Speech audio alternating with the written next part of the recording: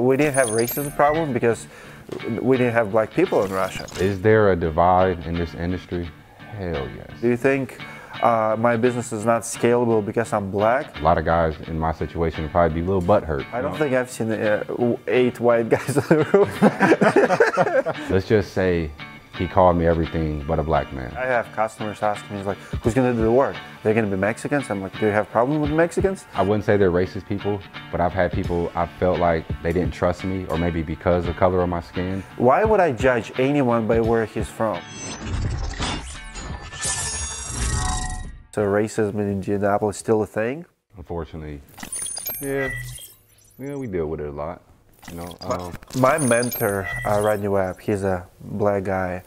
Uh, absolutely love him. He talks a lot about it. He he's the most successful person I know, like in my circles. You know, he makes? Rodney Webb. oh yeah, uh, uh, the university. Yeah, Rodney Webb I talked to him University. So he used to run, um, you know, gutter company, sold it in Atlanta, super successful. Good But guy. but he shares a lot of stories. He teach me a lot of you know business tricks and a lot of business technique sales. But he speaks openly about it. When he started, it was much harder. He has to when you are black in Atlanta 20, 30 years ago, you have to do a lot of things right. That's where his system, you know, came all about. And do you feel like uh, white people, I'll uh, ask straight, have advantage in this business? And the reason I ask because yesterday we actually have a call from one of our students, uh, Mauricio. He is in uh, Washington D.C. and he told me, he asked me a question. He said, "Dmitry, do you think uh, it's harder for me because I'm black?" And I, I have a problem explaining. Like I'm from Russia. When I grew up, we didn't have we didn't have racism problem because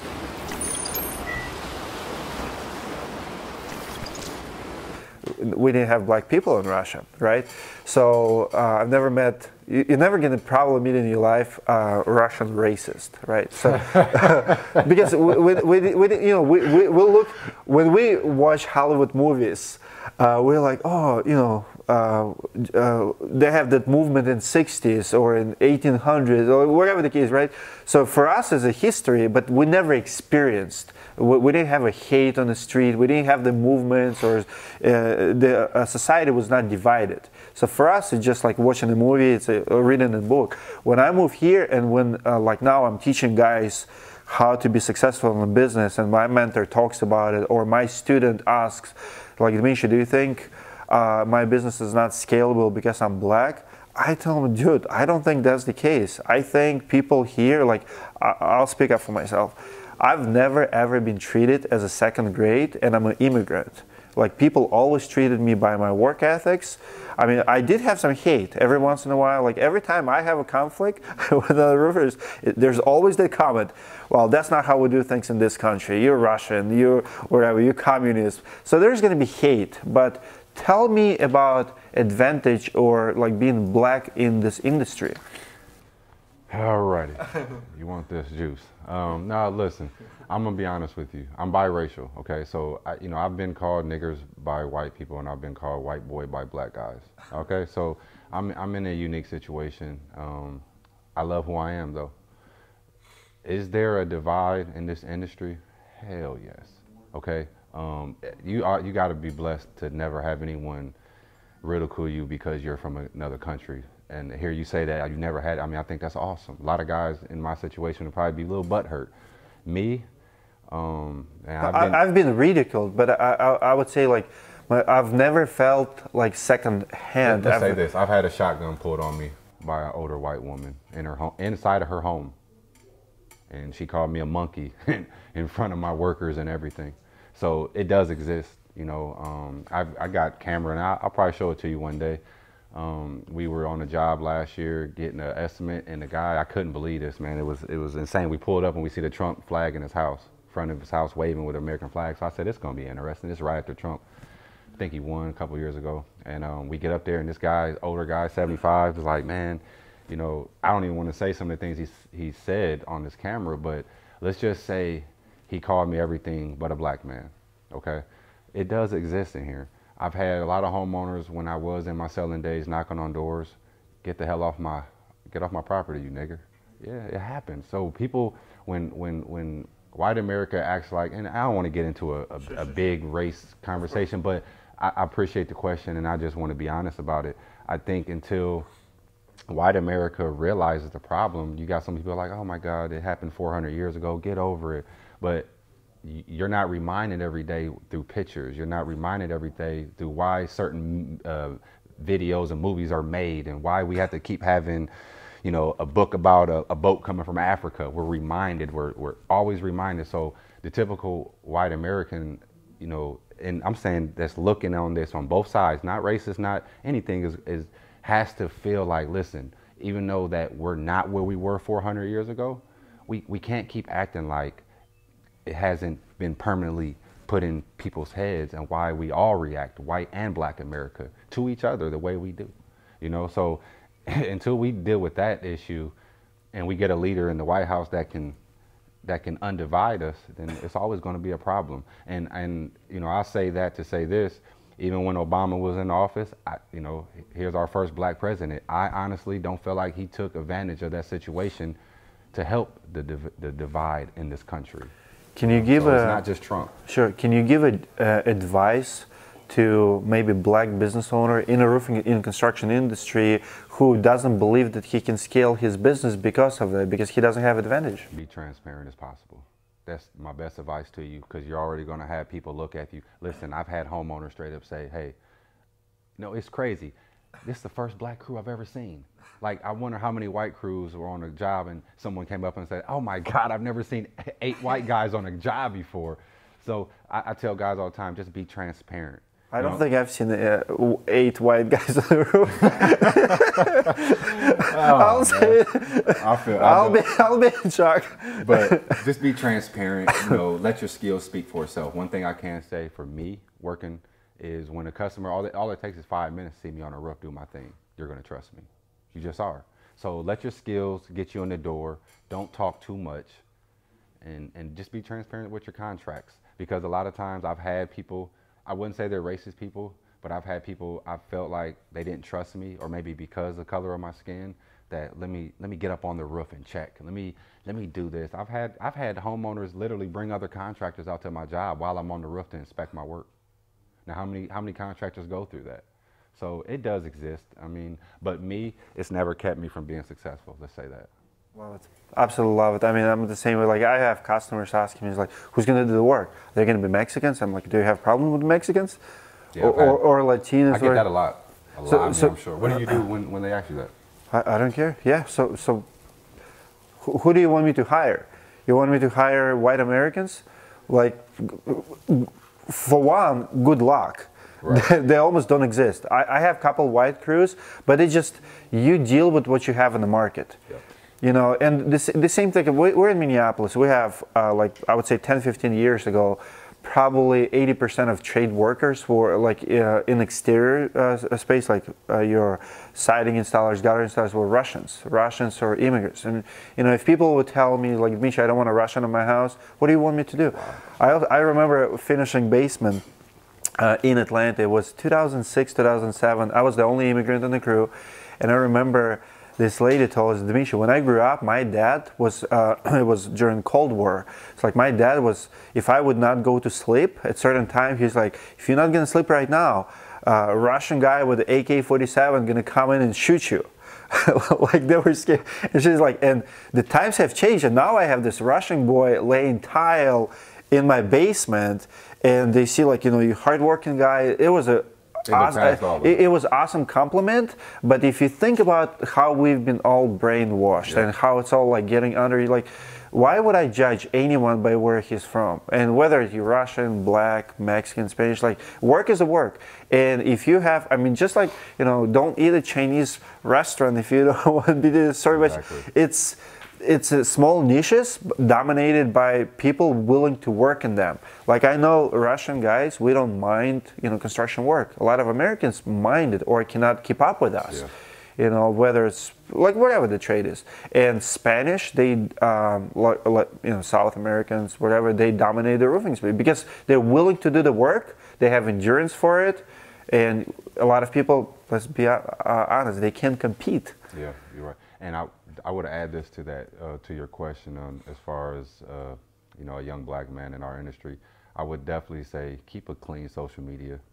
You know, one thing that I've experienced is people check on me a lot more than my other roofing counterparts in my market. I know this for a fact, okay? So and but see my mom raised me like that so you can go back on my page. I mean you might see a couple cuss words but i've always since social media i'm blessed and i try to tell my sons this all the time because they don't understand how things stay forever on the internet. But i've tried consciously to always be positive in my in, on my social media. So when my customers do look me up they're like okay at least he's a good guy. They give me that. I mean i hate to have to do that but in, in this world we live in sometimes you got to use what you have to, to get work that's my next question. So you are admin of one of the biggest groups on uh, Facebook, Roofers 101. Yeah. Uh, 24,000 plus members, but you would not let your son to join that group. Tell me about the culture, roofing culture on the internet, because uh, we have a group. It's over 2,000. We we love our um, energy. We love respect. We build it from ground yeah. up. We don't let any negativity let's talk about culture of roofers online. Why they're so negative? Why there's so much hate? I mean, this is and you deal with it very well. One of the best I've seen. What's your strategy and why there's so negativity and why would you not let your son to be part of it? I'll tell you, it's real simple. I love this damn industry so much. I love it that much that I've kept myself in the back seat. You know, because you know, I had my girl, I've almost lost my family. She's like, why are you investing all this money in this school and this training facility? Let's just be successful. We'll come back later. And I just couldn't give up. I couldn't give up. I, I, I really felt like if I didn't do what I did, we wouldn't have roofers, even though I know we'll get jobs done. But as far as culture in the, in the, in the industry, it sucks. We both know that. We both know that there's a, a stigma of what a roofer think he is. And it's the tough guy, talk shit, be as nasty as you vulgar as you want to be, and that's that's not it. And what I'm trying to do, I was brought in, um, I'm and I'm just a, a, a, a, moderator on the group. I'm actually not even an admin. I was brought in because I was making positive videos, and the guy said, "Hey man, can you start sharing some of that in this group?"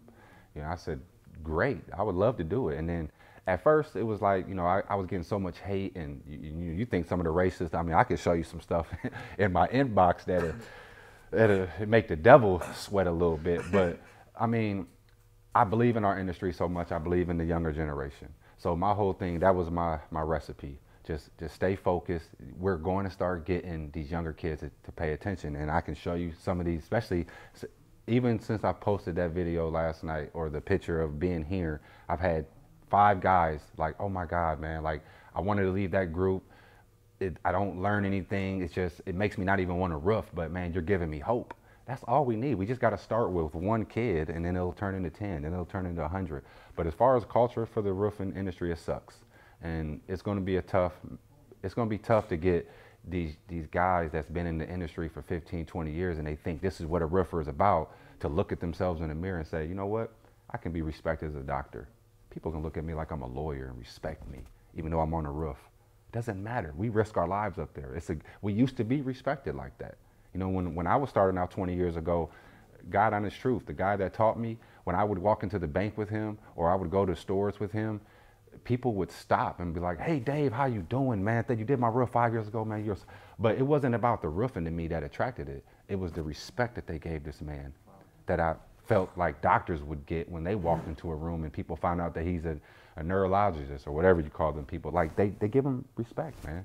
And that's what we need. Would you say we can take it back if we start taking ourselves seriously? Yes.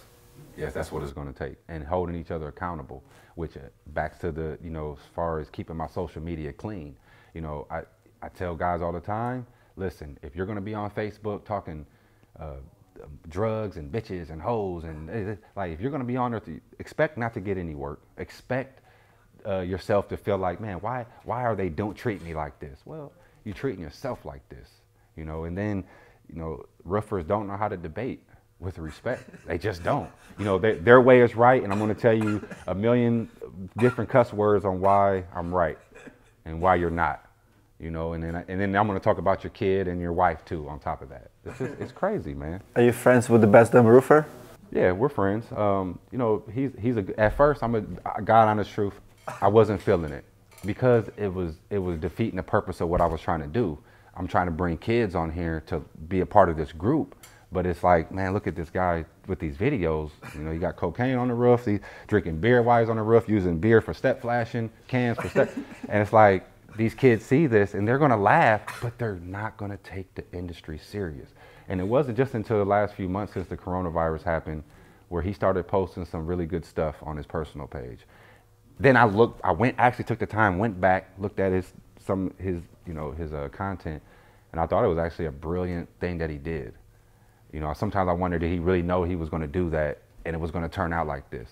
But at the end of the day, I think he knows that some of his his content, if we're going to save this industry, change the culture, I would hope that he knows some of that thing, some of those things have to change. He has to delete his channel So, to help I- him. Kidding. well, deleting the channel, I, I would say rebranding maybe the channel. You know, your BDR. He's working on it now. Yeah, you're BDR, so you're always going to be BDR, and don't forget where you come from. But man, now, and you know what's crazy is this though. Maybe in his market they don't have a shortage of a roofers. Maybe maybe he can put a, a, a post on Craigslist and get 200 calls, and 180 of them are awesome. We don't have that. I'm sure you don't have that. You know, so so until he realizes that, then and his business is taking a you know losing money because then maybe he'll realize that. But I hope I hope he would know that for the kids watching coming up, that if we're really going to change the culture, like you said, some of the content has to change, man. It just has to. Well, he, he's comedian and I absolutely love it. We, we brought him to the school, and when people meet him, they absolutely love him. And if you get to talk to him about actual business sides, you're gonna realize different. I like how he brings popularity. He's comedian, which is, you know, love you BDR. Big it's, the, time. it's, it's the brand. Like I said, I have no no personal problems with him. I think you know, I, I think he does good work, or he wouldn't be in business this long. I tell you that. All right. Well, thank you so much for your time. Um, one last uh, advice to brand new roofer. If somebody decides today, I want to go and become a roofer, what advice would you give? The best advice I can give someone is invest in yourself. Invest in yourself, believe in yourself. Don't worry about the contractor. Don't worry about the sub. Don't worry about how many jobs you got coming in. Just worry about yourself. Don't worry about what the guys are making on the crew, what they're talking about during breaks. Just invest in yourself, believe in yourself. Get that gun in the hose and watch what it do for you. Awesome. Thank you so much, man. Yep. Thank you. Love it. If you learned something for your roofing business from this video, we have way more business videos in our roofing business school. Subscribe to the channel, follow us on Roofing Business School, contact if you have any questions.